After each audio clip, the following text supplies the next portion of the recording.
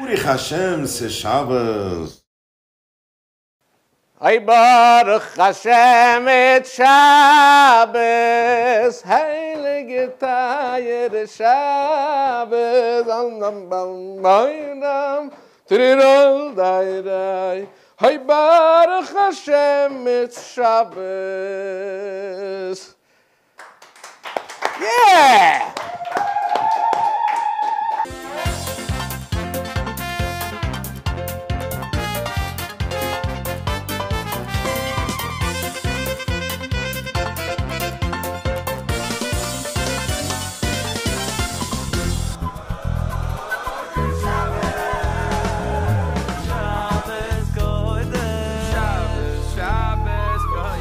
Urich Hashem, c'est Shabbos.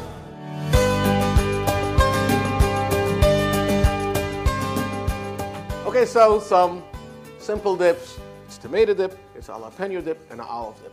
I'm gonna do all three together and try to do it as quick as possible. The first thing is when I make my jalapeno dip, I don't use raw jalapenos, I roast them. I'm gonna cut my jalapenos in half, just like that. I'm gonna add some garlic cloves, probably around 12. Light olive oil, nice amount a little black pepper, not too much, and a little salt, or maybe more than a little. Just like this. This goes into the oven. Give me around 20 minutes, around 375, 400. My jalapenos are in the oven. That's roasting. Let's start on the tomato dip. I like to use plum tomatoes. 10 cloves of garlic, a little bit of black pepper,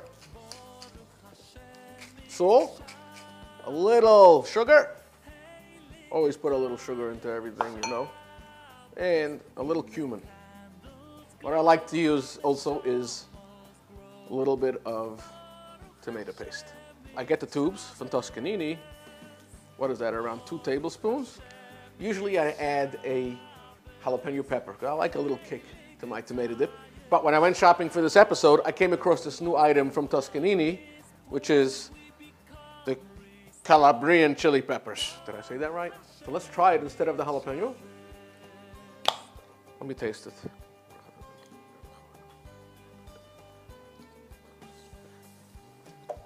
Mmm. It's good. Perfect. I'm gonna add one. Let me take off the stem. Nice tip, gives a very nice flavor.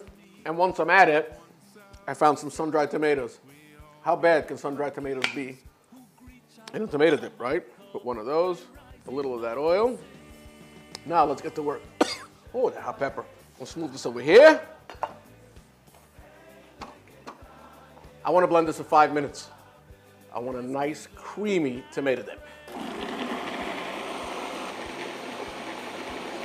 I'm to add some olive oil. I want to do this slowly, probably around half a cup, three quarter cup. As it's blending, it's going to turn lighter. See that? I can see it already. I want to taste this. I want to make sure I have enough salt, pepper, has enough taste. Maybe I have to add something. I like it a lot. Boom, ready, containers, start packing away. I'm actually good at this. I do this every week at home. okay. No waste. Now that wasn't supposed to happen. and I. Why? That was the best episode. Um, yeah. And I said I do this every week and I know exactly what I'm doing. So we had a little catastrophe over there, but we regrouped. We're doing good. No Watsala calls. One dip is done. And of course, the most important part. Baruch Hashem et Shabbos. Okay, so I finished the tomato dip. I'm gonna go and bring in my jalapenos that's roasted.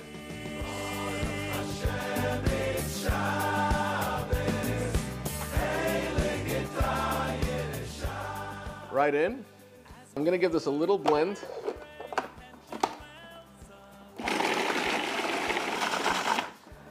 Gonna add some mayo right now. What is that, like a half a cup? Maybe like three quarter cup of mayo.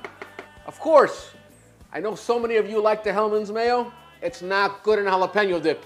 Get the Geffen mayo. Trust me, I know what I'm talking about. Maybe if you're from Switzerland and you have that Thomy mayonnaise or whatever that is, weiß nicht. I don't eat that stuff. It looks like toothpaste. But if you want good jalapeno dip, you use Geffen mayo. That's all I can tell you. Add one raw jalapeno and a little scallions. Not too much, just a little bit. What is that? Two or three? I would like to add a little bit of fresh parsley. And I'm gonna squeeze in a half a lemon. I don't see any pits in there. Jalapeno dip 2.0. Next level, 2022.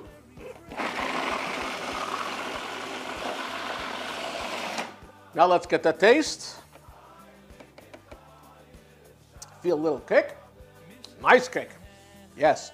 I love the lemon in there. I love the fresh herbs. Here's another minute. You can always add, if you want, a little garlic, fresh garlic again, because that was roasted garlic. Go right in with some garlic. And by the way, I can also be adventurous and put in one of these um, fancy Tuscanini peppers. Hey, it's hot pepper, it's jalapenos. I think it'll be a nice little touch. Boom. Okay, let's get some containers. Let's get this packed up. Next dip is ready. This time, I'm going to be careful. I'm not making that mistake again.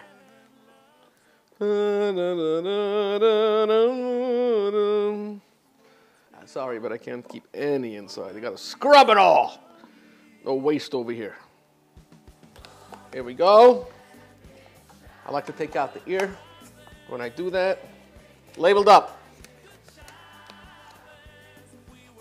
The geschmack of not having to rinse one of these bowls, I don't know. I like that. Why? I'll be making olive dip. I don't mind a little mayonnaise. I don't mind a little jalapeno in there. I don't mind a little kick. Where everything is better on a bagel.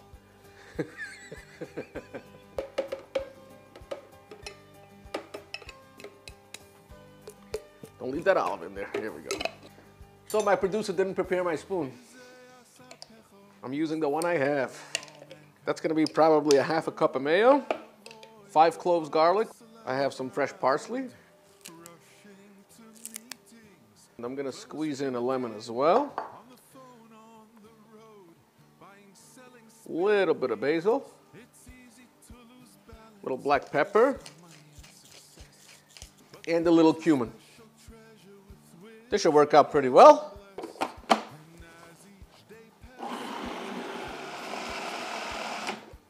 That's it, not too much. Let's taste it.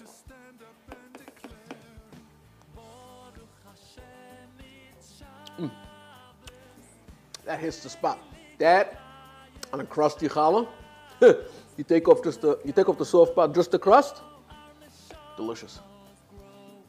That'll make you two and a half containers. Beautiful, delicious. Now, if you want to make a pickle dip after this, you don't have to wash that either. Little olives and pickle dip won't be too bad. The Baruch Hashem it's Shabbos label. It'll just show your family you really care about Shabbos, the beauty of Shabbos. But before we go anywhere, whoever follows my shows knows Baron Herzog just happens to be kosher. Let's make a l'chaim. Now this l'chaim is to thank my sponsors at Baron Herzog. Thank you for making this show possible. I don't know if you guys get it, but Baruch Hashem it's Shabbos. Baron Herzog is like BH, BH, you know, like whatever. l'chaim. This is delicious wine. It's a California wine, so it's made in the USA. Something really special, very flavorful.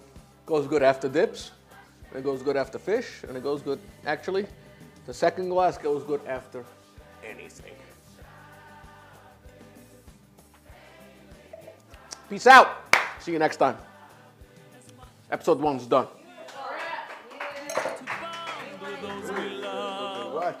Huh?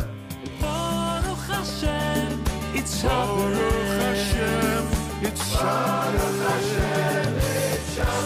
Shabbat Shalom. Good Shabbos. Uri Hashem, c'est Shabbos.